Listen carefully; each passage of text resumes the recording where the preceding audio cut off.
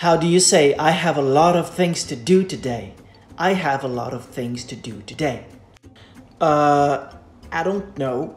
You tell me.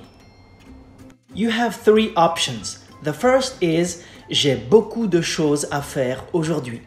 J'ai beaucoup de choses à faire aujourd'hui. Oh, cool. Let me try.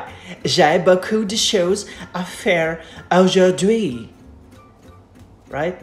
Uh, almost there, right? Let's work on the letter R, how to pronounce from R to R. R. It comes from the throat. R. Uh, ew. Okay, let me try. R. J'ai beaucoup de choses à faire. Good? Not bad, except for it's beaucoup, not beaucoup. Beaucoup means beautiful ass. So, beaucoup. Oh, thank you for noticing. It's really nice indeed. I have been working out. Next, j'ai plein de trucs à faire. J'ai plein de trucs à faire aujourd'hui. All right, I like this one. J'ai plein de trucs à faire. Uh, re, faire. Plein de trucs à faire. Truc, truc. You're getting the hang of it. It's truc. J'ai plein de trucs à faire. Nice. Next one is j'ai beaucoup de choses à faire. J'ai beaucoup de choses à faire.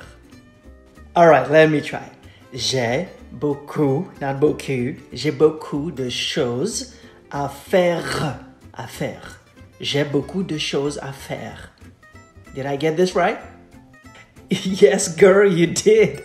So it's like j'ai beaucoup de choses à faire. J'ai beaucoup de trucs à faire. Or j'ai plein de choses.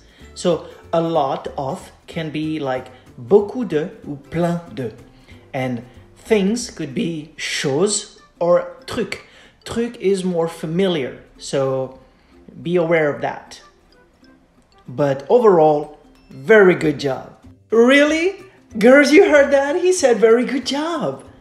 Oh, I'm so happy.